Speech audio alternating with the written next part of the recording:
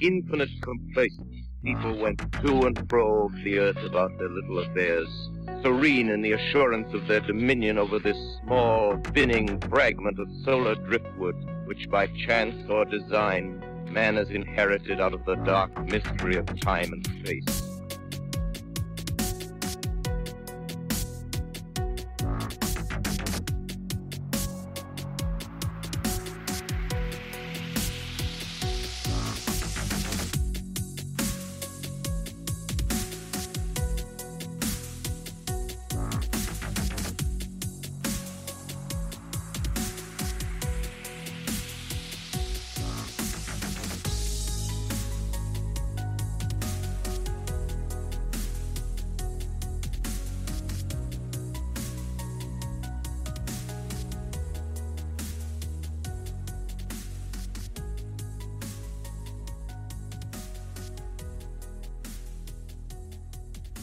Welcome to another episode of Into the Fray. If you're new here, I hope you're enjoying it enough to head to your podcatcher of choice to rate and review the show. This helps it aggregate across the listening platforms, which will turn into more people willing to come on and share their encounters. If you've been listening for years, I'd ask that you please do the same. Home base for Into the Fray is intothefrayradio.com. There you will find all episodes, blog posts, and get bonus content info. Speaking of that bonus content, on top of the free weekly show, I also produce bonus content for Patreon and Apple Podcast Premium. On either platform, you get all bonus audio episodes and early releases, each one ad free, of course. Full disclosure though, Patreon has a bit more in the way of perks because of their interface. Over there, you will get video versions of patron only chats, e private Discord channel, and merch at certain pledge levels. So head to patreon.com slash into the fray or your Apple Podcatcher app to sign up for bonus content today. You can find me on the big three social media platforms Facebook, Twitter, and Instagram.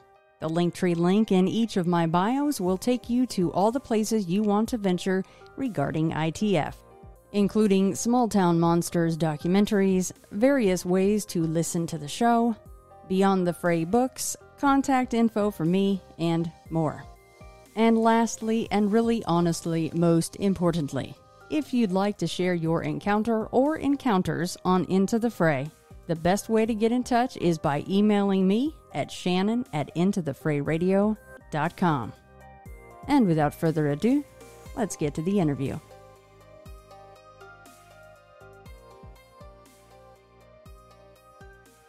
On this episode of Into the Fray, I welcome Luke Phillips back on with me.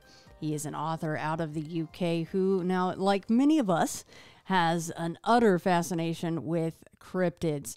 His recently released book, Rogue, is his fourth fictional work, and this one is set in the forests of Washington state where strange killings and missing people absolutely baffle law enforcement as to the culprit. And hint, it's not a bear, guys. His other books have been centered on big cats, you know, the cryptids that especially over there in the UK, they're going, oh no, those aren't out here, but we know they are because people have seen them. And then he and I have also had conversations in the past about things like the infamous lion duo, the ghost and the darkness. And something that you brought up in one of your emails to get this scheduled, Luke, was the passing of Tom Wilkinson, which I had not even realized happened. And he was in, of course, The Ghost and the Darkness. Welcome back. And that is actually a really sad passing because that's one of my favorite movies. Yeah, no, thank you very much for that lovely welcome, Shannon. And yes, unfortunately, Tom Wilkinson, the actor who played him in The Ghost in the Darkness, so the infamous British industrialist who originally propositioned Colonel Patterson and asked him to build the, the Railway. Unfortunately, the, uh, the actor has passed away. Very famous for things like The Full Monty and the uh, Second Great Marigold Hotel, and you know lots of English character and period dramas. But yeah, really great actor. From a personal side, I always wanted him to play Fairbanks, the, the villain in, in my cat books, in first first book, Shadow Beast. But yeah, uh, I think he's he's known and, and loved by many and will be will, will be missed. So yeah. Beaumont is not a nice fellow. Beaumont did not care what was going on out there in Africa. He just wanted that damn bridge built right now. Yeah, I think that's pretty much. Uh, yeah, I think he pretty much played a typical you know British industrialist of the time, which was you know get the job done at any cost. And as he as he fondly tells Val Kilmer in the film, "I told you you'd hate me." So, and he did. Yeah, I think a lot of people ended up in in that position because he kind of just turned the the blind eye. And for anybody that doesn't know. The Ghost in the Darkness is based very, very heavily on. I mean, I don't. I'm sure that they don't know exactly how some of the attacks went and all of that that are portrayed in the movie. However, the Ghost in the Darkness are two lines that actually killed many, many people. Was it 90 something people was the final total that they killed?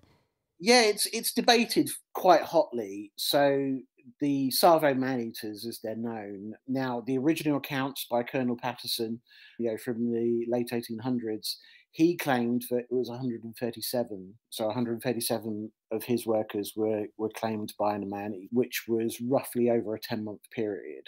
Now, given that they were two male lions and that they were feeding almost exclusively on humans for most of that time, it's certainly not within without it's well within the, the realm of possibility. There was a number of tests done on the skins and the taxidermied specimens, which are in the Chicago Field Museum to this day. And they say that the results are more like something between 25 and 35 p, just based on the isotopes that are left in the skins. But these skins are not in great condition. You know, Patterson used one as a rug for many years. The taxidermy process in itself is very, very destructive.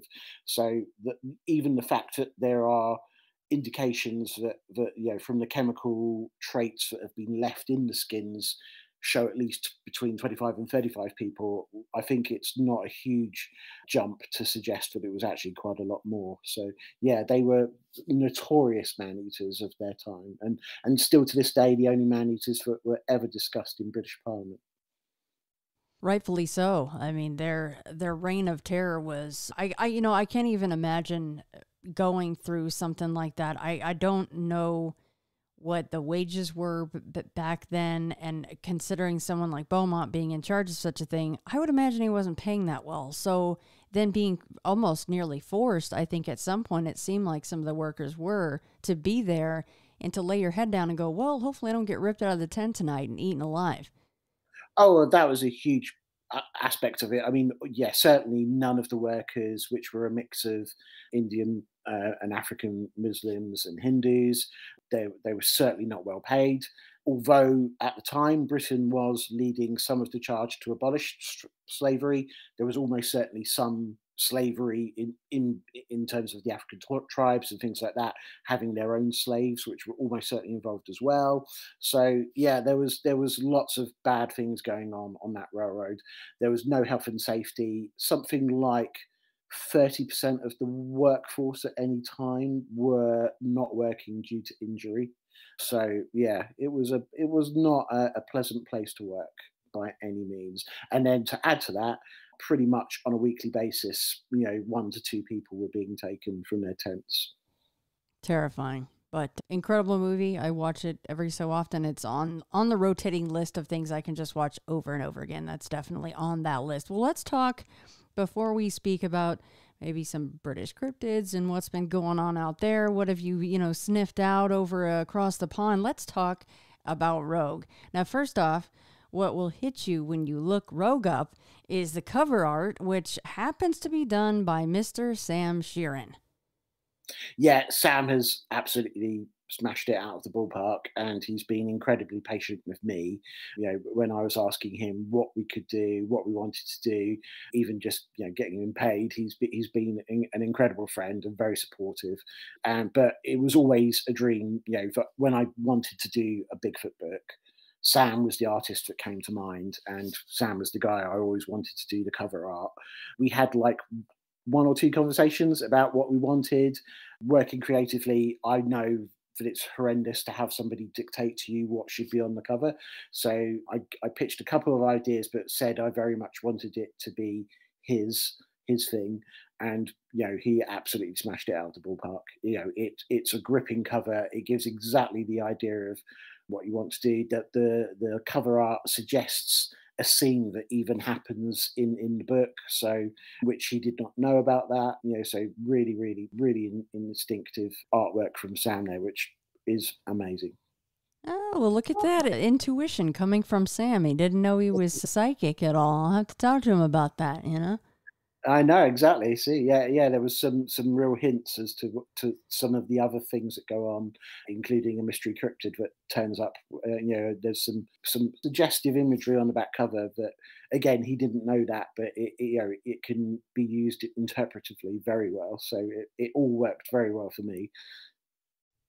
Yeah, because the idea of a rogue, when we talk about a rogue Bigfoot, you know, the the idea of Bigfoot families and they're they're just trying to mind their business for the most part. They're not trying to go and poke the hairless things because it brings more hairless things. And we're bad news, which we are. But the idea of a rogue means, well, he's gone rogue. He doesn't give a crap. He wants to go poke the hairless things or maybe take or eat or kill or whatever he feels like doing. And I imagine that's the the basis for the book, right? It is, yeah. There's there's a couple of sort of reasons why I went with that total with that title, and you know, part of it is you know being a monster movie fan. You know, in in Jaws, the, the shark is described as a rogue, but yes, in particular in Bigfoot circles, when we talk about rogues, we're not normally talking about these family um, groups and, and these Bigfoots which are tend to be, you know, sort of you know, have known that that lesson is that you keep away from humans, that it attracts attention and trouble. I think generally it's accepted that these those types of Bigfoots tend to be younger ones. Whereas in my book, I wanted to give my rogue a particular backstory. So not only is he an older big Bigfoot, he's he's he's an alpha, and he's a, he's a, you know he's a, he's an elder Bigfoot with a lot of experience. Um, he's had a bad run in with humans, um, but he's also learned that hanging around humans presents opportunities to feed uh, and things like that, which again is reflected in a lot of the lore, in a lot of the encounters that, that, that, you know that we hear. And I wanted to sort of build a story around that in particular. But there is a family group in the story as well. There's lots of lore and legends that you know Bigfoot connoisseurs and Bigfoot those who are Bigfoot fans would, would will be able to pick up on. You know, I wanted to be as true as possible to Bigfoot fans because I'm one of them, and uh, you know, I wanted to do do the story justice. Well, I kind of like the idea of a Bigfoot that's just he's just had enough, you know, and he's just going to show everybody how enough of all the everyone's you know what that he's had. So I I'm I have not finished it. I have I have started it. I've I'm always like reading six books at a time, so I'm bad. I'm bad in that way. I should just focus on one at a time. Thank you for sending me a copy. By the way, it is a beautiful oh, book. You're and, very welcome. No, um, yeah, I mean he is very much a Bigfoot with a, you know, not not just a bad attitude, but yeah, he has had enough. You know, yeah, you know, you know, he's had a rough ride and he's got the, the, you know the merits and the skills and the attitude to do something about it so so it's really yeah it's it's it's a really interesting story uh, i wanted to make it biologically sound although as i say there are some elements into it which you know suggest otherwise but yes it's a, I, I i yeah i really wanted to do the subject justice no, it's set in Washington state, which of course is the classic quote unquote Bigfoot mecca, right? Even back in the day before the things exploded on the internet and all of that. If you said Bigfoot, most people would go, "Oh, well, they're they're uh, actually they would think they were only in Washington State." But did you was there a list that you had narrowed down from? Was there any other locations that you were considering for the setting of the book? Yeah, there were. I mean, Washington State, I think, given, as you say, it is pretty much the Bigfoot mecca. I think exactly as you said, if you look at a lot of the early reports, you know, even Peter Byrne, you know, one of the four, four horsemen of Bigfoot, he said that he he discounted any Bigfoot stories or encounters that happened that took place east of the Rockies. You know, because he, as far as he was concerned, it was you know a West Coast phenomenon pretty much restricted to Washington, Oregon, and California. Obviously, now when we look at the Bigfoot map, we can see it happens all over the United States, you know, from east to west. You know, real, real interesting things you know pop up like oklahoma and ohio in particular. You know some of these states which you wouldn't think are particularly productive in terms of bigfoot encounters and sightings are actually really prolific. So there were i, I did have ideas about maybe going midwest. I haven't done a lot of Midwest stuff in the past, and it's it, it, it obviously presented lots of ideas in terms of settings and particular scenes, things like that. I also seriously considered starting in the South, you know, so having a, you know, Louisiana, sort of New Orleans, Skunk Ape, you know, Skunk Ape, even possibly going down that. So, but as I worked on the story, I, I, I felt that actually that was where I was go- I was going to go with the second story. You know, once I get around to writing it, and then yeah, basically it was a choice of California or, or Washington, and uh, in the end, I, I, I, ended up with Washington um, because just it, it, does seem to be the home of Bigfoot, and it, it, was the place I think I felt I needed to start. But boy, is there an awful lot of other places to to to, to, to look at, and you know, a lot of myths to sort of you know sort of challenge really you know because when you look at the data things crop up like we, we tend to associate you know southern bigfoot with being more aggressive whereas mm-hmm. actually the most aggressive encounters actually seem to come out of British Columbia and Alaska. And we also associate, you know, with southern Bigfoot, we tend, tend to say that they're smaller. Whereas actually, if you look at what researchers are producing, it looks like that you know, southern Bigfoot are some of, you know, there was a Bigfoot in Kentucky, which I think is actually the the, the, the, the trackway is actually the biggest we have. And yeah, and that's in Kentucky. So yeah, so there's lots of things out there contradicting and and, and you know, perhaps poking holes in in some of the, you know, sort of the, the exceptions we have about Bigfoot. And and certainly one of them is that they're not just found in Washington, but ultimately it was where I wanted to go with it. So now, I'm not going to take this any further than, than you want to, of course. And before we recorded, uh, you kind of told me what you've been up to. But I wanted to toot your horn for you because of the fact that, and I, again, I won't divulge anything you don't want me to, but your work is in relation to wild animals. So you're not just an armchair researcher like many of us, like myself, that just gets online and you look at reports and you like Bigfoot and you like the, the UK quote unquote cryptid cats and all of that you actually work in this. So I just wanted to throw that out there for everybody. If he sounds edu- educated in, in, in things like this as we move through this conversation, it's because he is. So I just had to say that. Oh no, that's that's very kind, Shannon. Yeah, I mean, I studied zoology at university, so zoology isn't the, the study of, of you know zoos or, or how to work in a zoo. It's the study of animal behaviour, animal systems, and, and species.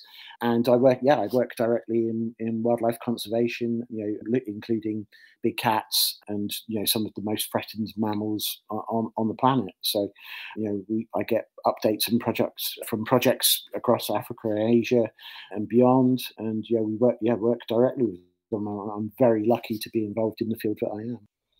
I don't know if I asked you this question when we talked about the Tsavo man eaters, but I mean, this is a pretty dark question, and I maybe it's a stupid question, but if that event happened again today, and especially with the work that you do, if you were invited to go to a place where something like that was going on, even at a quarter of the level, let's let's take it down a notch because maybe maybe the first way is a, a flat out no, which would probably be pretty smart to say. But uh, what if it was going on to any level, a quarter of the level is it was going on and for the ghosts in the darkness? taking people, killing people. Would you go out to a place like that? You know, considering the fact that you have this fascination with the big cats, if you had a chance to, you know, study behavior of, of these rogue cats, as as they might be called. Yeah, I mean, I, I mean, the thing is, I mean, a few years ago, I wrote an article called "The Modern Day Man Eaters," and because man eating isn't, you know, again, despite the sexist connotations of man eating, especially given that in most cases it's actually women and children who are taken. But you know, people eating is is something that animals have not given up by any nods of the head. You know, so it does still happen. There are specific areas you know, so for instance, in Tanzania, you know, there is still a significant issue with man eating in terms of lions. In particular, Delhi in India, you know, has issues with with man eating leopards still. You know, wolf attacks in Romania and Eastern Europe still happen quite on a regular basis. Same with bear attacks, although it's much much much much more you know less likely you know compared to big cats and, and, and wolves in particular. But yeah, it still happens, and yeah, if I did have the opportunity to go out and have a look, which it, it, I actually may do, uh, you know, in my current work at some point, human wildlife conflict is one of the biggest things that we actually look at and spend our resources and, and, and time on, um, because it, it, it, does happen, you know, um, and, and still does happen. Did you see that horrific video of the car? It's a white, I think it's white car. Woman gets out. They are inside of a safari park, and she's pissed at her husband. And she gets out of the car and walks around to his side. I don't know what the, the point of that was. But then a lion comes in and drags her off, and he tries to fight off the lion, but I don't think that he was successful. I don't know if you saw that video, but sometimes you get on Twitter and things just get uh, in your face and you can't unsee them. Um, yeah, I mean, it's, it's it's a very flippant remark, but sometimes you do see things like you, you see these National Geographic or you know, or sort of you know, not National Geographic, but other channels, you know, where they yeah they create these anim- these programs like when animals attack, and they could quite as easily be labeled, you know, when humans are stupid. Um, yeah. You know, because anybody putting themselves it's interesting. I've just just been listening to your the Bigfoot in Alaska episode, and you know, as your guest there pointed out, Mother Nature will regularly, if you give them an opportunity to to to point out that a you're not the top of the, the food chain, uh, and b you're part of it, she'll she'll she'll jump on any opportunity you provide, and the moment you could go one on one with an apex predator, the likelihood of that going well is is very very bad. It is very very slim. I like that chat with Fred because Fred, you know, he's not. I mean, listen, the the the paintbrush was from his ancestors was that they were all bad and he he kind of was like hinting like hey i was giving them a chance and then of course he he admitted, "Hey, I've told this story a million times," and I was like, "I get it." You know, I you anyone that wants to go find his encounter can, even on his own YouTube channel. But he was saying, "I gave them a chance." And they screw, you know, they screwed it up because they they came in, and I thought that it was a group of them. That it was like an Ape Canyon situation. They thought they were going to die, and they weren't doing, as far as he knew, anything wrong. So yes, I mean, and that's look, that's the basis of your your newest fictional book, right? Is because these these experiences do happen to people. And no, he's not saying every single Bigfoot is bad. Every single Bigfoot wants to drag you in the woods and eat you or hit you against a tree. But in his experience, he's he's to be armed. He's to make sure his head's on a swivel because he's had bad experiences with them. Yeah, and I think as he pointed out, Bigfoot is a very different animal to the apes that we know. You know, you're not going to have this Jane Goodall experience of you know touching fingers and a silverback turning to you and giving you a, an infant to look after. Most of the time, the encounters that we have are are actually pretty terrifying. They're normally bad. They're normally instances of people being escorted out of territories, being subject to power and intimidation displays, and if not being directly threatened by bluff charges and things like that. None of these could be, re- you, know, you know, shaking of trees and things like that. None of those can be described as behavior that we would consider benign or, or, or gentle or accepting. You know, these are very strong territorial, you know, sort of behaviors. And it's one of the things that I wanted to explore in the book as well, because it's it's interesting, you know, just from a point of biological dynamics. When we look at the average, uh, you know, Bigfoot in the books, in my book, I've deliberately made a, a, a, large individual, you know, so the, the two alphas that are in my, in my books are 10 and 10 and a half feet tall. And one of the interesting things is that when you start looking at how that translates to physical strength, just something that's actually twice our size is actually four times as heavy and nearly eight times as strong because that's how biological dynamics work and, and, and how biophysics works. You know, it, just in order to stand up and support itself, you know, things multiply on a scale that we wouldn't necessarily imagine, and that correlates with so much that we hear about what these these animals are actually capable of and things like that. So it, it, gave me you know a real playground to work with in terms of what they could do what they were what some of the the feats they were capable of in terms of strength and terror and how they sort of attacked and things like that. But again a lot of it is based on encounters that have, have happened and you know allegedly in real life.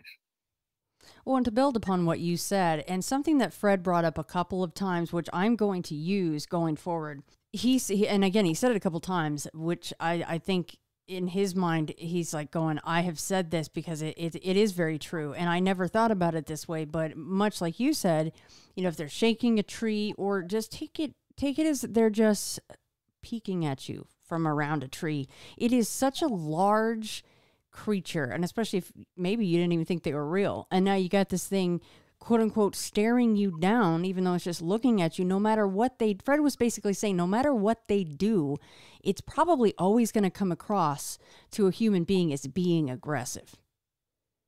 I, I totally, I totally agree. And, but the thing is, is we, we are kind of spoiled by sort of TV and media in general because we see these, eh, these things like Jane Goodall and David Attenborough and interacting with gorillas and orangutans and things like this. And it looks really benign and peaceful. But the amount of work that goes into creating that situation and enabling it to happen is is significant. I mean, in most of these places, like the mountain gorillas, for instance, it takes two days to get to them. You you can't just turn up and park in the car park and walk up to a, a, you know the visitor centre.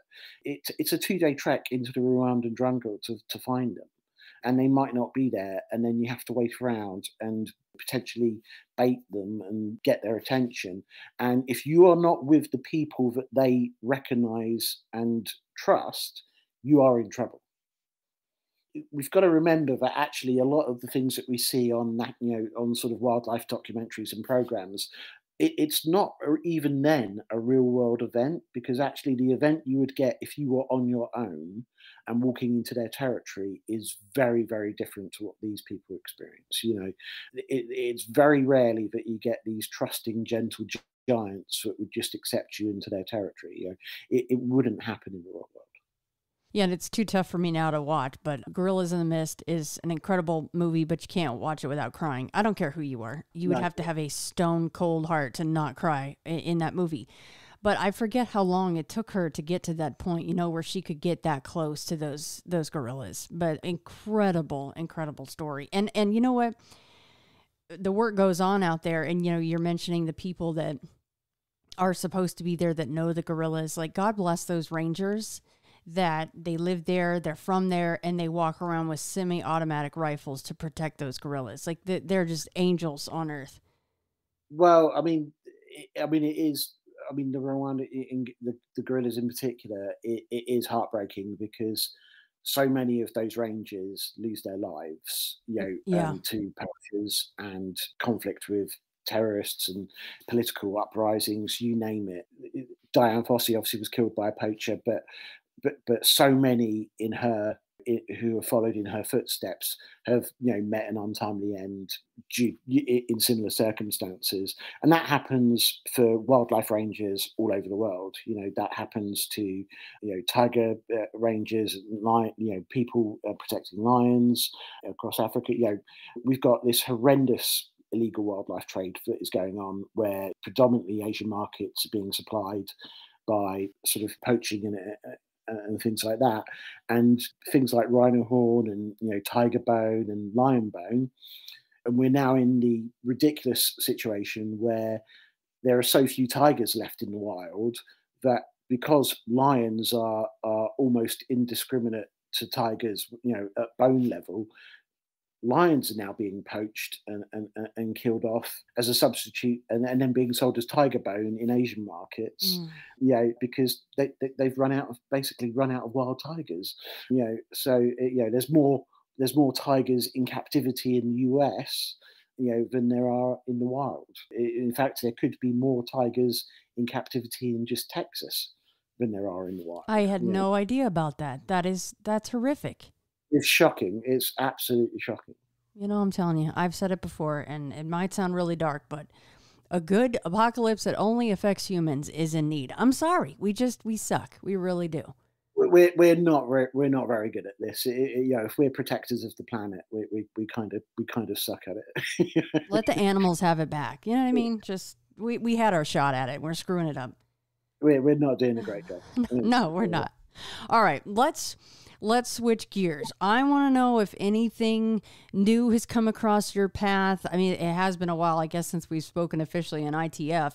So, what kind of reports have been coming out of Britain? I know how, pun intended, I guess, hairy it can get to be talking about Bigfoot reports in Britain, right? That's a subject of high contention in the Bigfoot world. But have you had any Bigfoot reports in the last few I, years?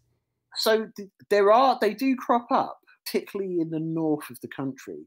So in Northumberland and Scotland, and you know, sort of, the, we we do still get you know people talk about encounters with things they can't really explain and in particular bigfoot creatures they tend to they do tend to fit more into what might technically be called a wild man or you know or what is known you know in in european legends as the woodwose you know, so if you if you look at a lot of English cathedrals and grand buildings, you might see a strange-looking, hairy, bearded man with a staff, which is technically a woodwose or the green man you know slightly different legends but you know the, the woodwose in particular you know which is a, a, sort of a wild man of the forest. And yeah we you know, there was an encounter not too long ago reported in loch ness where a hiker got scared out of the woods you know, he was. It, it, with all these things, it could always be a case of they, they they pump themselves up so much that they get scared and you know they end up scaring themselves rather than a potential incident has happened. But experienced hiker, certainly not uh, a believer in Bigfoot, and certainly not a believer in Bigfoot in the UK. Distinctly got the impression they were being shadowed if you walk in the woods in Scotland in, in, in winter, it's, it's it is a very dark, foreboding place. So it's easy to scare yourself. But they they didn't complete their intended hike. They backtracked out of the woods as quickly as possible. They were seeing shadowy figures behind trees, and again, they they distinctly felt that it was an animal rather than you know something supernatural. But again, they couldn't quite put their fingers on it. Bigfoot was what came to mind. You know, they were talking about guttural growls and things like that. It is an it is an interesting one. Obviously, the reports we get most of the time are, are things like the big cats, but we, we we we get all of the supernatural stuff as well. Yeah, we get we, we get reported man encounters. We get fairies and gnomes and you know all sorts of things. You know, reported. And obviously, our folklore and mythology goes back you know centuries and many people are very firm believers in, in, these things. So yeah there's a there's a plethora. Where i am in the southeast we've had some very sort of you know interesting big cat reports um, or actually little cat reports near me for instance. I'm based in the southeast in kent and we've had some livestock killings which do not look like they're dogs they it looks like it could potentially be a lynx so yeah, it, it's always a, an interesting uh, hot pot of sort of uh, stuff that comes across the desk as such. But yeah, the Bigfoot one definitely prove you know is proves controversial. The only thing I would say is that, so a lot of the things that people say. So for instance, people say that you know it's just a small island and there isn't enough space for for these things. But we there is we there is significant space in the UK. A lot of the UK is rural. You know, Scotland in the Highlands, a lot of you know rural Wales, even the southwest of England. You know, we're talking rather significant tracts of land, a lot of which is private, a lot of which is wooded and forested. We have a, a, a deer population of at least six deer species, you know, which you know, could act as a food source along with, you know, a feral population of wild boar and other animals which could potentially fit into the food chain. You know, so it's it's not outside the realms of possibility, or as always, that back when we had a land bridge to Europe and, and beyond, if these things are walking around, and they seem to be walking around every single continent other than Antarctica, um, you know, because we get reports from China and Russia and Australia and obviously the US, um, then why why couldn't they be here again in very small, very small numbers? I love me some little people slash gnome slash leprechaun stories, whatever label you want to put on them. They fascinate me. Okay, so you you mentioned Dogman out there. Can you recall one or two, you know, encounters, how those went down, and uh, you know what what the folks were doing where they saw them? Yeah, so there was there there is a there is a, a myth about so you know of of a of an upright canine sort of creature that can visit those of Irish descent, you know, when they're near death. And one story that was shared on podcast called BBR Investigations was an elderly man, I think he's based in Scotland, but I'm not sure actually, but certainly in the north of the country, was basically he was, you know, he's 80 years old, He had a carer in the house, he'd moved his bedroom from upstairs to downstairs and the downstairs there was no curtains at the window. And he basically was woken at night to see something peering in at the through the window at him interestingly enough he said that he didn't feel that it was aggressive or or or, or had any ill intent for him he he just suggested that actually it was quite surprised to see him there, and that normally there were curtains there. It, it, had the opportunity to look in, and then it saw somebody was actually there and awake, and you know, and had observed it. And you know, again, the investigator who was involved, you know, asked him if he was of Irish descent, which he was. They identified an area of the property which they perhaps got bad vibes from, and you know, sort of one of the things that was sort of tied to this myth was that he had recently contacted a solicitor to, to talk about his will because you know he he was reaching the you know sort of the or or was at least contemplating that he was probably in you know the, the last few years of his life and should you should have his affairs sorted out. So it was interesting that that came about when he was thinking about you know making a will. He has irish descent and there is this legend and mythology that is associated with those of Irish descent, and, and, this sort of you know death wolf, you know, for want of another name. I mean, that's kind of fitting for at least you know where I go with Dogman, and I think that's where you go too, right? Maybe this harbinger of something, much like a Mothman, or something just eh, a little bit more supernatural than flesh and blood. Yeah, I mean, I I I, I love the idea of the Dogman phenomenon. I, I know they're different, but I I have a, a an absolute love of werewolf movies. There's you know I, there, there's something that terrifies me but fascinates me at the same time. It, I, all the things that it sort of identifies, and yeah, whereas it, it's interesting with Bigfoot that you know, like even to the point in the book where I was I was able to justify the Bigfoot's physical characteristics, like having, you know, basically natural Kevlar because of its musculature. I gave it the ability to thermoregulate so that it could, you know, appear and disappear off thermals and things like that.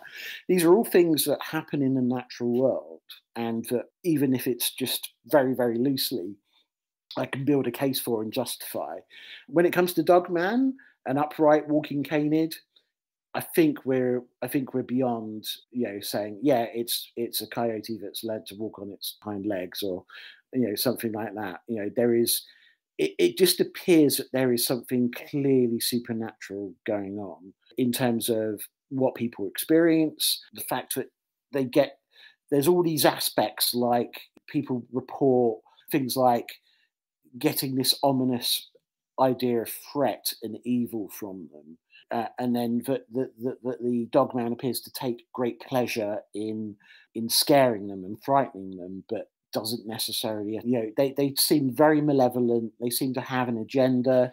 they also seem to turn up when people are perhaps doing things they shouldn't do, perhaps misbehaving. They tend to turn up where people are camping, when they're littering, maybe when they're close to an Indian burial mound, these sort of aspects. And again, it is something you know that I, I do like to explore and, and like to look at and you know have into into that in my fiction. So it, yeah, but it, yeah, I, I think we really struggle to justify Dogman on a on a flesh and blood biological basis. Yeah. That said, though, with the upcoming second doc on Dogman, the Dogman territory, werewolves in the land between the lakes, we went out there and we talked to all kinds of folks, of course, that had varying degrees of terror in relation to these things. As you say, this feeling of dread, sometimes which can happen prior to you even actually physically seeing this creature, like this primal instinct kicks in, or if it's something that comes off of the the dogman itself. And then, of course, the people thinking that, well, I mean, if, if they are supernatural, why didn't it just poof disappear when, you know, at, at some points, and even in the last film, it was like there was these things being shot at and they're, you know, they're just running away like a normal creature would. So you're kind of going, well, couldn't it just poof out of existence? But maybe once they're here, there's rules for them. I don't know. Yeah, I, I think that's, that's the, yeah, I think once they are exactly that, I mean, obviously we're talking about a completely unknown entity. We we don't know, right. you know what what we're, we're just going. So, but that that does mean that you know it, it's it's everything's to be played for in, in terms of that we we don't know what the rules are. We all we seem to know is that uh, it, exactly as you say. Obviously, from the very first reports of the Beast of Bray Road, you know these things have been seen hunkering over roadkill. Uh, you know, apparently eating and scavenging. So that suggests physicality. You know, obviously we've had uh, encounters where people have described you know damage to their vehicles, like scratch marks and things like that. In the case of the LBL, obviously probably what, the most infamous, you know, Dogman encounter ever, in, you know, in terms of the murders in 1982, but also the incidents that happened before that. You know, there was this lone hiker hunter who was apparently torn from his tent a, a couple of weeks before the, the, you know the camper incident and things like that and you know hike free hikers which were in a camp and they I think they were chased in a pickup or a camp uh, again a Volkswagen camper bus. But yeah that you know again there's there's more than one collaborative story you know sort of showing that actually you know there is something to talk about here, and particularly in, in, the land between the lakes, you know, which has just become infamous. And so many researchers go in there and talk about ominous feelings, you know, um, about um, getting a bad vibe, or you know, I think there's, you know, I, I, I know some of the, the researchers like Kumbo sort of, you know, get, get you know ha- attract controversy. But you know, he's talked about a dog man in that area called the Witch, who uh, or the Grinch, you know, who is very aggressive towards you know people and and things like that. So you know, to this day, forty years later, we're still talking about Land Between the Lakes and potential encounters and frankly terrifying things you know in that area. Luke, you mentioned in your area of southeast Kent that there have been some recent livestock killings and that it's probably attributed to a lynx. Now, do the powers that be deny that those exist there as well, or is that oh, denial only yeah. reserved for big cats? No, the, no, they're they're blanket in their denials of, of what's going on. What's interesting is that, like with the livestock killings, we, we do get a, a big share. You know, almost all livestock killings in the UK happen to are down to dogs. You know, dogs that are loose, dogs. You know, so for instance, in exactly the same area where we've had the livestock killings, which is about four miles away to me. You know, earlier in the earlier last year, we had livestock killings where basically two mastiffs got into got into this area and killed two sheep. Um, but as I sort of explain in my first book, you know, Shadow Beast, we, we I, I discuss of livestock killing, and and actually, the way a dog kills is very very different to how a cat kills. There's been a really good documentary come out in the last year called Panthera Britannica, and that shares some incredible game cam footage, which uh, you know I think pretty much show, shows a, a, mountain lion following a deer, which appeared on the same game trail, you know, moments before. So I, I think we now have some really incredible evidence that there's big cats here. But lynx, you know, there are back in the 1980s, we had a farmer, actually, in 1990s, sorry, we had a lynx that was shot and killed by a farmer in Gloucestershire, and a gamekeeper who actually was prosecuted for bird of prey persecution. And they found uh, a lynx in his freezer which you know, which he had not reported to the authorities because he thought he would get in trouble, which was you know ironic that he then got in trouble for killing birds of prey, which actually is illegal. So yeah, it, it, yeah, it's it's it. But what's been really interesting about the, the the livestock attacks recently is that one somebody thought they'd seen a small deer called a muntjac and the area that we are in we don't necessarily get muntjac here but also it would be very difficult for a muntjac to get into that area. And muntjac are quite small. They're you know reddish brown in colour, uh, and they have you know a lack of tail, which pretty much describes a lynx or thereabouts. And you know the livestock kill that happened, which was a sheep, it was a very clean kill.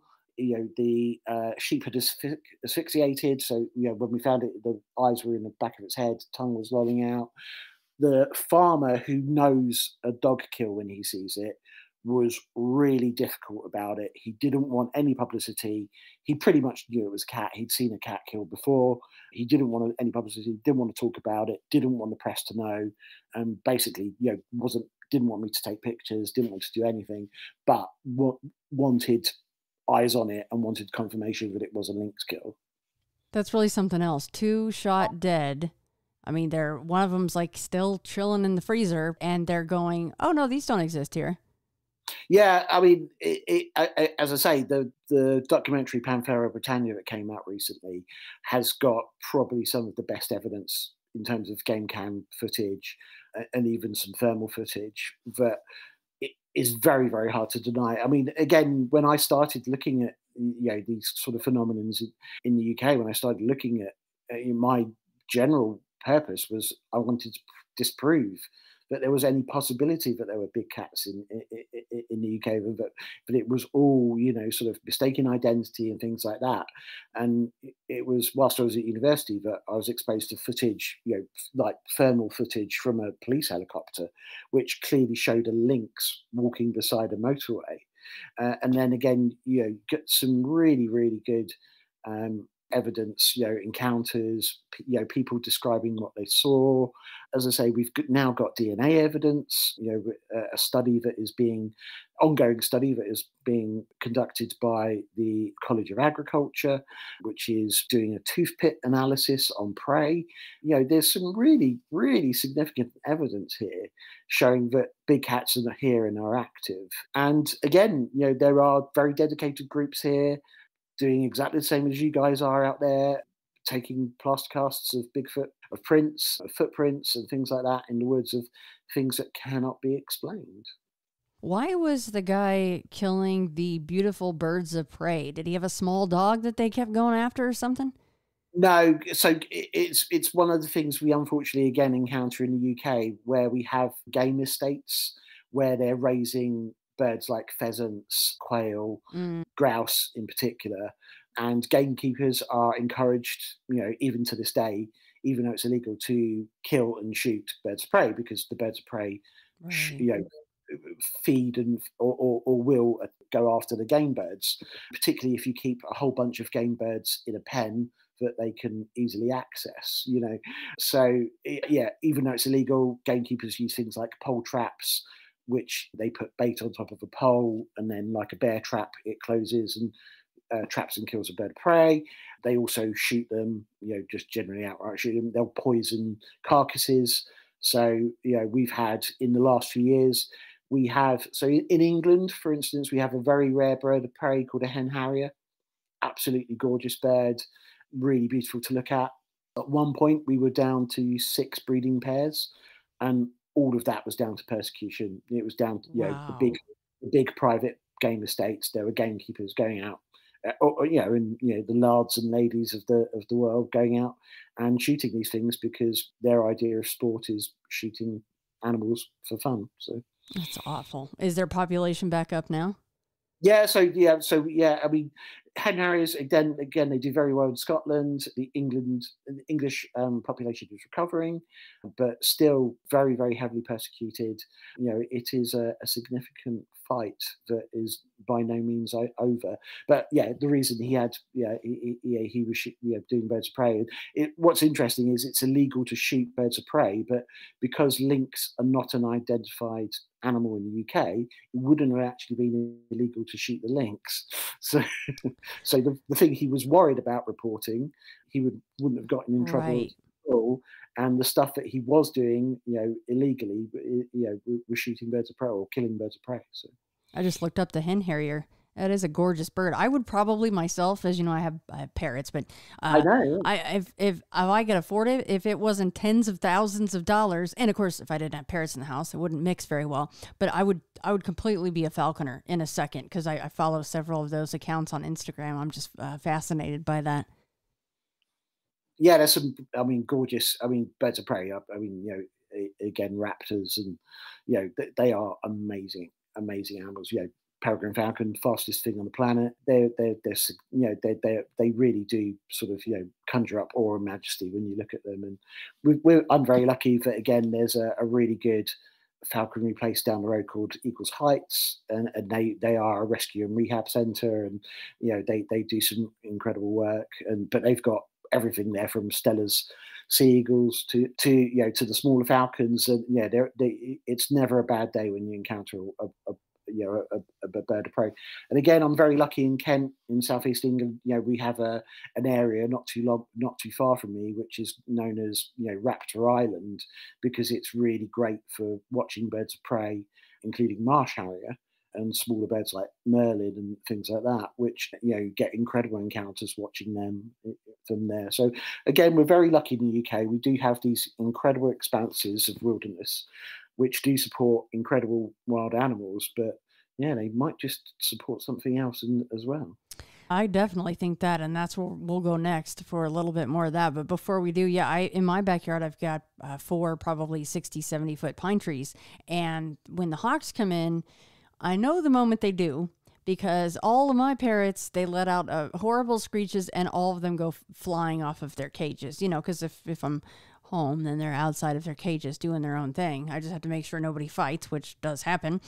But yeah, yeah the second a bird of prey comes into the yard, I am highly, highly aware of it. And even though, you know, they, these guys know, hey, I'm in a house, but I still don't feel that safe. And actually, a couple of times, couple of the younger hawks that don't quite understand yet have dive bombed underneath the awning and come close to, you know, enough to get right up to the window to try to get at my parrots. And that really gets everybody upset, but at least they haven't actually hit the window at this point. But yeah, the younger ones are not figuring out the glass yet because the older ones know, well, I can't get in the house, unfortunately, for those little tasty treats, those colorful, tasty treats that Shannon has in the house.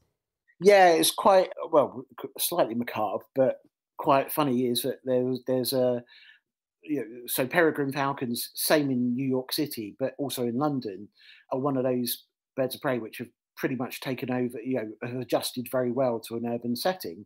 And a few years ago, when they were analysing what the peregrine falcons were eating, in one of the pellets that they found, they found the beak of an African grey. Uh, yeah, I, I bet. Yeah, because obviously an escaped pet or a pet that had been allowed to fly, which unfortunately had you know been taken by by one of the by, by one of the peregrines. So yeah, it, you know I, I, can imagine they know when they see something exotic like that sitting around, you know is. It but what's really interesting is you talking there as well about how your birds react in the presence of a predator. And again, so so often hikers and things like that talk about this idea of the ecosystem just basically shutting down and going quiet. And, and, what you've described there is exactly how an ecosystem reacts. That you get these warning cries, and then everything goes very silent, very quiet, and hides. Um, and obviously, you know, your birds are reacting because they can't. And also, as parrots, they play a role similar to crows and, and, and things like that in, in alerting the rest of the ecosystem that there's a predator around. So it, yeah, that's really interesting to you know for me to hear. So The poor doves, though. Sometimes I wonder about some of their brain power because the the hawk will just be sitting in the tree and they'll just they'll come right in. But the smaller birds and some of the other, like the grackles and things, the bigger black blackbirds compared mm. comparatively to a sparrow, they're they're not anywhere around. But those poor doves, they're like Larry Larry Curly and Moe or something. They're just like ah la da da da. I'm just gonna get in the bird bath here. I'm like, dude, you you may not you may want to rethink that that spot that you got there because there's death incarnate a couple of branches above you yeah, there's quite a funny, again, macabrely funny bit of footage that was shared with, you know, from a London peregrine cam, where basically a peregrine was on eggs, you know, in a nesting box, an open nesting box, and a wood pigeon lands on the same ledge and literally walks up to the the box, and unfortunately just spends a little bit too long working out that the strange grey thing inside mm. the box is a bird of prey and get and gets you know and, and, ends up being a you know a very quick and easy meal for the for the female peregrine. But yeah, sometimes you do wonder about about pigeons and doves about yeah, and the, the intelligence they've been blessed with. Some more than others, I guess. That's a, what they yeah. call natural selection, right? Yeah, absolutely. All right. So, uh, well, what other interesting things have you uh, come across in the last few years, and maybe for you know researching for the books and things? Yeah, I mean, there's been, I mean, as I say, there's been, I, I do feel that there, there has been almost sort of post COVID or, or, during COVID that it, there did seem to be this massive increase in just animal encounters generally. Big cat encounters, again, do seem to be on the increase in the UK quite regularly now. You know, we're seeing again large black cats being uh, sort of reported. I suppose what's interesting for me is is the variance in the descriptions because again if you sort of you know want to sort of go into the murky waters of whether they're flesh and blood animals or not what's interesting to me is that obviously if if they are black leopards which you know we presume the vast majority of them are then they would have the rosettes that a leopard has because you know a, a black panther is just a melanistic leopard or jaguar in the UK, it's very unlikely to be a jaguar. It's much more likely to be a leopard because that's what was being sold at the time through Harrods and places like that. But whereas most people, or, or no, most is is is is too is is a big assumption. At least a few of the, the reports describe these creatures as having jet black coats, suggesting that they are perhaps something different um, or something a little bit more unusual.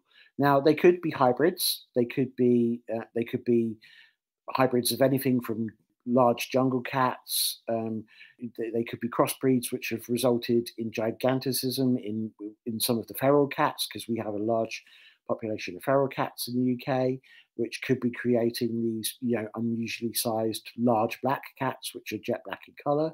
But it's yeah, it's an interesting road to go down. And again, unfortunately, it's one of these things which that there is no absolute answer for, but it, it you know it, it, conjures up on you know more more questions than answers, unfortunately. But when you when you start looking at the actual encounters and the descriptions, they don't always marry up perfectly with what we understand to be the, the biological specimen. That, You know, as I say, they don't match a black leopard all the time, and they don't match a mountain lion all the time. So that's that's something interesting again, uh, 2023 was a great year for Nessie sightings. So I think we had more Nessie sightings, you know, in 2023 than the last 14 years previous. Obviously, again, our friend Sam Shearon did a, did some great work in in debunking perhaps what was quite a famous you know image, which was clearly a superimposed toy. But again, there's been some really interesting video footage, some of which again can be dismissed as unusual wave or, or sort of waves meeting in the middle of the loch, which is a known phenomena. But yeah, yeah, lake. You know, there's a, a lake north or a loch north of Loch Ness, which again has started. You know, has always had a monster legend, but because it's so inaccessible and people can't get there, it's kind of a local legend. But again, that's made the news relatively recently yeah, there's eh, eh, there's been sort of all, all sorts of interesting things going on. You know, so yeah, uh, everything from lake monsters little people. I can't remember a specific incident that I've I've looked at, but again, it, now that they're on my radar, I mean, other than that, there was a great film that came out last year called Unwelcome, which focused on red caps, which are one of my again one, one of my favorite legends. You know, which is you know a sort of a a, a particularly nasty type of Irish and Scottish goblin, which got its reputation for dyeing its red cap you know red again in in human blood. So yeah that came out last year. So it was great to see red caps you know sort of featured in a, in a hollywood film such. So yeah.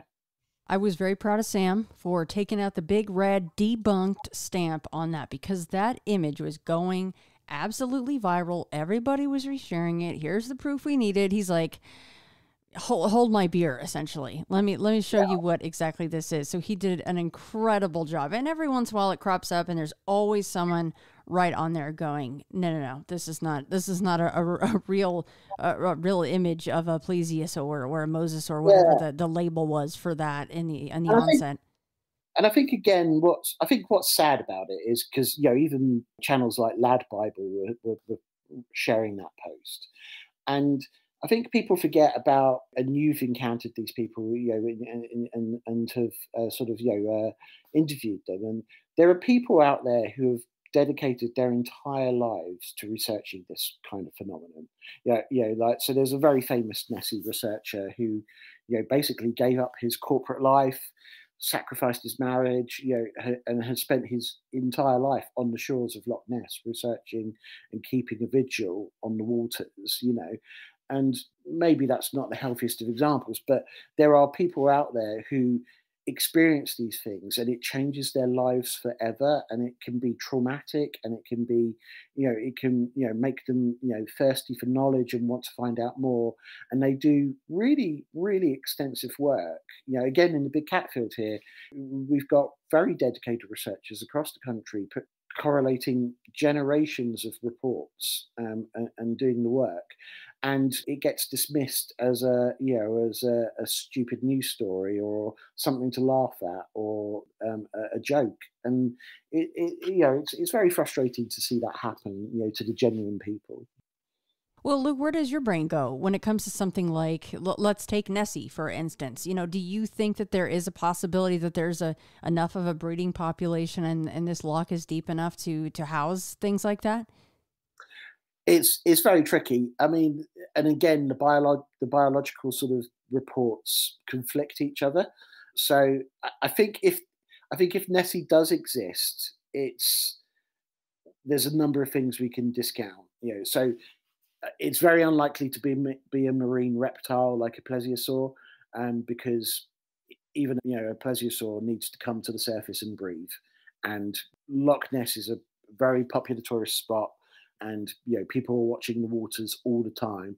If there was a population of marine reptiles in there somebody would be spotting them coming to the surface and breathing and feeding and things like that a little bit more regularly than than they perhaps are. What was interesting is that when we did uh, that there was a, a study done last year which looked at the trace dna in in loch ness. And one of the things that they re- realized it was that there was there was far more European eels in Loch Ness than, or you know, far more traces of eel in Loch Ness than there, there potentially should be. Um, now that presents a couple of things. So one, eels could be a food source, you know, for for a large animal that that might be harbouring in there. And again, one of the things that it could potentially suggest is that that Nessie is a is an oversized eel or a very large eel or an unknown you know species of eel. And that could you know explain why it's not seen regularly you know because eels are migratory. We know that they migrate from the sargasso sea and you know all the way to ness. They go up the river ness and things like that so yeah, that, that could explain, you know, a potential uh, the enigma of Loch Ness a little bit. What I love about the Loch Ness phenomenon is that, and you know, my mum's Scottish, and you know, I, I have Scottish ancestry. You know, I, I spent literal parts of my childhood on the shores of Loch Ness, so you know, it's a subject very close to my heart. I think the odds are against it being real, but that said, that's only in terms of the flesh and blood aspect. I think that it's not absolute. There is still a possibility that it, it's something like an eel or a migratory, migratory animal. And obviously, the supernatural aspect of it. We know that you know Aleister Crowley had a you know the, the, most evil you know man who uh, connected with black magic had a house on the shores of Loch Ness. I mean, you know, goodness knows what he might have been conjuring up. So yeah, who knows when it comes to Nessie? But I hope I hope the legend certainly stays alive. And I, and again, it's one of those things that I would love to be proven wrong on. I'd, I'd love there to be a Nessie. Imagine it being something conjured versus just a massive eel or something like that. That's pretty cool. I hate to say it, but I like that. No, I again, and you know, uh, as I say, there's there are so many myths and legends, and so many ties to sort of black magic and sort of the, the, these things that I I certainly know nothing about. So, but yeah, there's a yeah. So who knows what's what what is possible in those realms? You know, if we keep an open, open mind. Certainly not an area that I would you know that I've explored very, very much, or, or would even you know have dipped my toe into. You know, I, I you know, I, as I say, I, I, I cling to the flesh and blood explanations where I can. But that said, Unfortunately, flesh and blood explanations do not cover everything and leaves a lot of phenomenon unexplained. So, do you recall the last time that there were livestock killings that would likely fit the MO of something like a leopard running around and killing such things?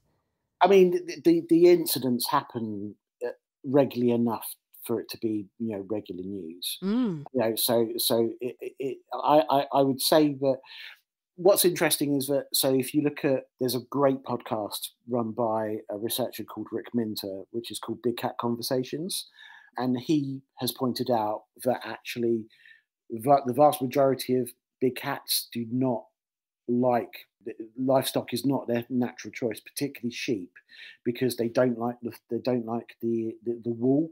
They, they don't like having to clean the, the the the livestock of wool, so they tend to if they do attack sheep, it tends to be a, a, last resource when there's fewer prey animals, you know, in the area, or it's, for instance, like this time of year when we've got a real cold snap, it's winter, prey is less available. They might turn to livestock, and of course, again, that that also happens, you know, you know, when they've got cubs and they've got more mouths to feed, that sort of thing. So we can we can see those sort of correlations. So it happens enough you know, again, the hotspots in the UK are places like Gloucestershire, the Cotswolds, Devon, and, and Dorset, and again, then what you know, North Wales, which is very rural, up into you know Scotland and the Highlands. That being, and the southeast, you know, where I'm based.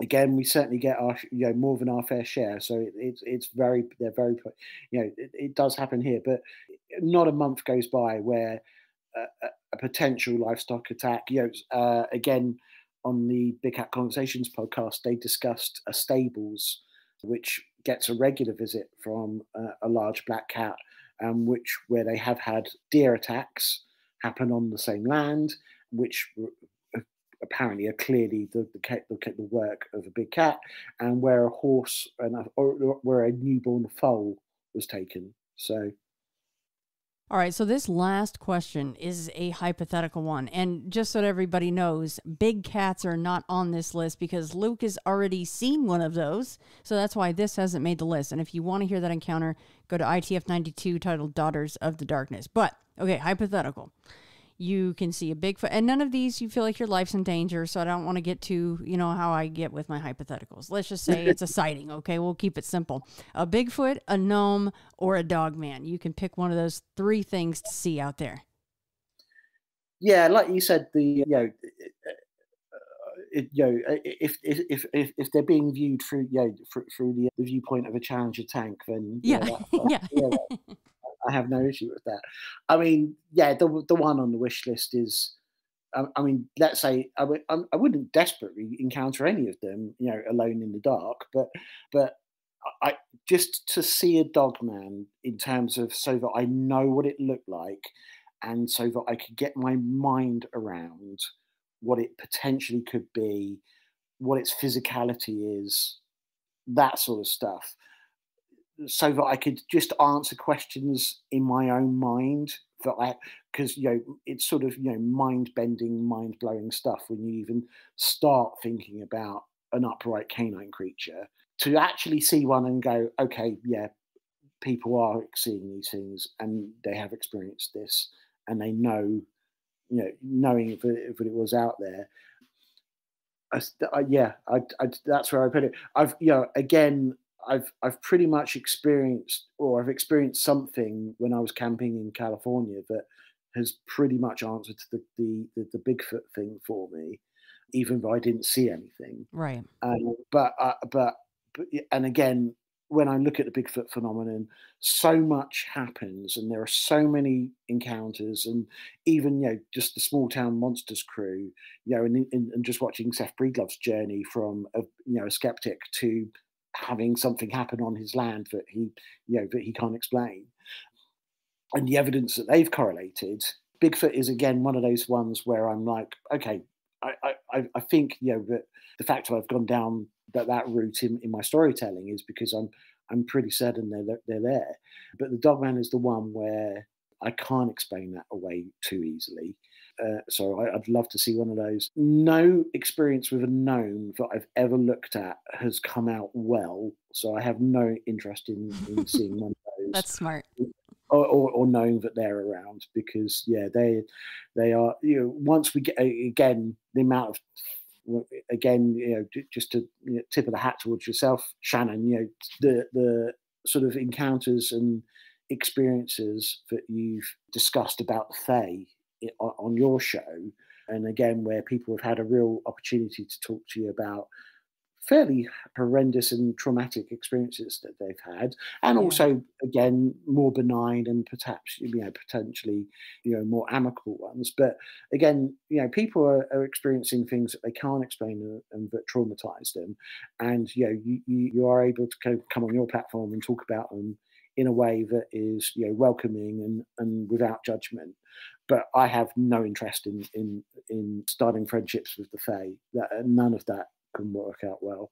Yeah, no, I, I, I totally agree with you on that. And, and on the, you know what, and I think I'm, I don't know whether I'd rather, I, I mean, I would hazard to say I'd probably, because I just don't shut up about Bigfoot, I'd probably rather just go ahead and say the Bigfoot. But I agree with you in that I'm, of course, more settled that Bigfoot is likely more more more than likely uh, really out there. We can't say for sure, right? We haven't seen one until we do. We got to we got to say that cuz that's a smart thing to do. But with the dog man, I mean, imagine being close enough to see it move or have it have it execute that that horrible uh, joint popping sound or something. Yeah. Oh. Yeah, that I mean that's the one that stayed with me all this time. Like yeah, from the the first accounts, yeah, the, the yeah. popping hit because it comes up relatively regularly, and you or does now. Yeah. And and again, it's just an odd bit of detail for somebody to make up.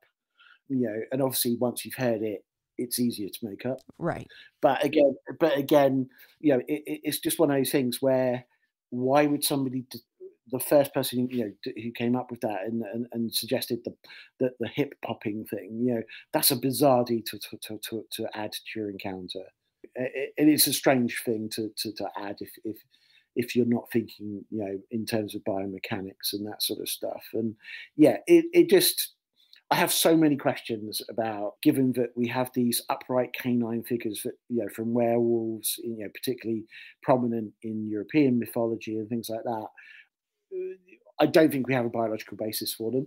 And therefore, they're the one I'd want to be, I'd want to see just because it takes me to somewhere else. It takes me to it, it puts me on a, a, different plane of existence. It puts me on a different path, you know, that takes me so far outside of my comfort zone that you know I'd have to start facing facts in a different way. Second to last question, and this question is totally off any topic we've covered today, but the felling of the sycamore gap tree. I don't know why, but it really truly just made me sad to the pit of my core. I don't know why. Was no. it as outrageous for you guys over there as it was for some of us over here? I don't. It just bothered me so oh, bad that no, that happened. we were. I mean, that that is a it is a true national landmark. It is probably the most photographed tree in England. There are people who make pilgrimages to go and see it. It was on my wish list to always go and walk Hadrian's Wall and see the Sycamore Gap tree. And I think I think it's just one of those things which it's 400 plus years old. It has always been there. Even the significance of it, you know, a silly significance of it being in Robin Hood, Prince of Thieves, Yeah. you know, and things like that. It, so it that suddenly it's part of my childhood, you know, and my young, you know, my younger adulthood and things like that. And it, it, it was a truly significant tree. It was beautiful. You know, there's beautiful pictures of it taken under you know the milky way and things like that and yeah i mean there were the cries in the media for what should be done to this person if we ever catch them uh, I, I, know in the US you have capital punishment, but one of the things we were, some of the things that were being suggested, I hope this guy is never found because I, I don't think he'd last very long. I, I think there would be a proper mob after him yeah, and uh, no, I think it wounded us culturally. If if I'm being honest, you know, it it's it's like it's akin to you know a few years ago when Windsor Castle caught fire, or yeah, you know, a national monument like that being um, deliberately destroyed, and just the fact that it's a 400 plus year old living thing, and a stupid, ridiculous gutter snipe of a human being decided that he would end that thing's life just yeah, just for the hell of it on yeah. a whim. Just you an, know? an utter knob. I was sick when I when I read that. I thought that I was just reading something wrong or something from. Honestly, I thought it was something some new line from a mo- movie in relation to Robin Hood or something. I didn't even put it together for a couple seconds what had actually happened because it would just never cross your mind that any human being would want to do that. No, and they were very determined. I mean, who? I mean, I mean, yeah, and they it's a very, that it's night. a very it's a very large tree. It's not again. It's not a case of just turning up at the car park and walking over to it. Right. Yeah, you, know, you you would have to take a serious bit of equipment along about two miles worth of, of quite up and down pathway to get to it. You know, so it's it's anything between half an hour and forty five minutes walk to get there. It probably taking a significant train to get to fell it the way they did. They knew what they were doing. You don't just cut a tree down Right. that that well. So I yeah, and again, I don't know what's happened. I mean, I think obviously there's a lot going on in the world at the moment. You guys, you know, you had the the Capitol riots not that long ago, uh, you know, and you know some real sort of stab wounds into what you know democracy and you know clearly there are some very very upset people out there who don't know how to process some of the horrible things that are going on and uh, you know i have some sympathy to that but but you know if if the way you react is to to go out and you know take out a 400 year old tree then it doesn't bode well for the rest of us unfortunately No, and that's where my word apocalypse comes right back in Yeah, to close things down.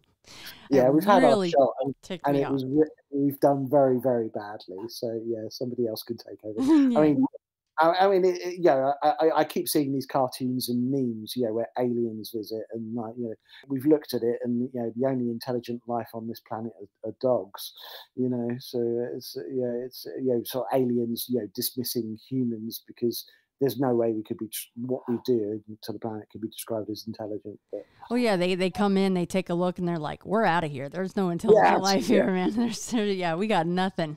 But all right, so what's next for you, Luke? Are you working on some some more books, or is that top secret information?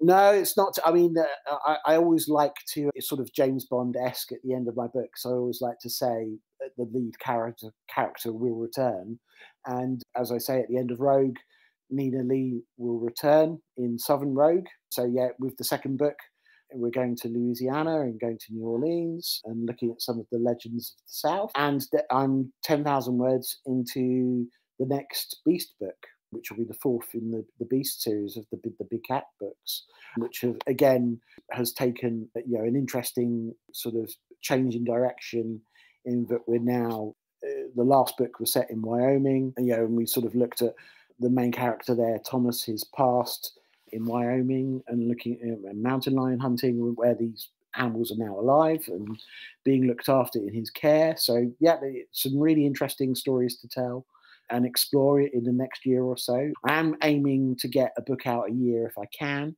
So yeah, hopefully you know you won't have too long to wait, or my readers won't have too long to wait for, for the next books, as long as I'm disciplined and, and work hard. So which you always do. So no one should be worried about that. Well, congratulations, Luke, on that. We'll let everybody know any any social handles you want to give out, and of course, where to find the books.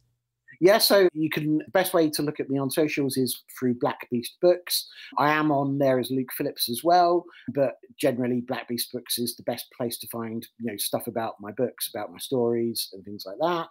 You know, my personal socials tend to be just about places I've visited and, and you know, what lunch I've had, so slightly less interesting than than marauding creatures. All of the books are available, including Rogue, which is the latest one, and Bigfoot based, which is probably you know uh, more of interest in the big cats, perhaps, are all available on Amazon on in both paperback and Kindle. The audiobook is being produced as you know as we speak, so that you know shouldn't have too long to wait for the audiobook either. So, but yeah, all available on Amazon as we speak. Well, Lou, thank you so much for coming back on. Let's not wait as, as long for the next visit, okay? No, absolutely. There's no no more uh, sort of you know plagues or, or sort of yeah. yeah world shutdowns allowed to, to interfere with our yeah with, with, with catching up. So yeah, re- thank you very much, Shannon, for having me on. Really appreciate it. It's been as always, it's been absolutely lovely.